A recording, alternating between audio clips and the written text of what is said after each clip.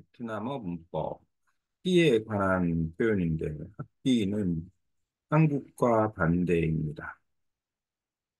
학기, 목, 1학기, 학기, 하이, 이런데, 이, 이를 학기가, 베트남은 가을 학기입니다. 가을 학기.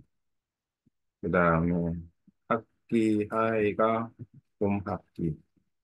이렇게 되면은 한국이 봄, 가을 로 되는 거에 비해서 베트남은 음, 학기가 한국과는 반대다.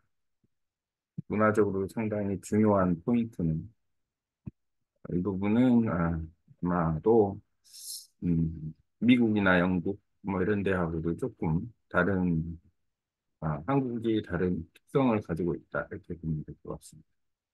그러면 학기에 관한 자료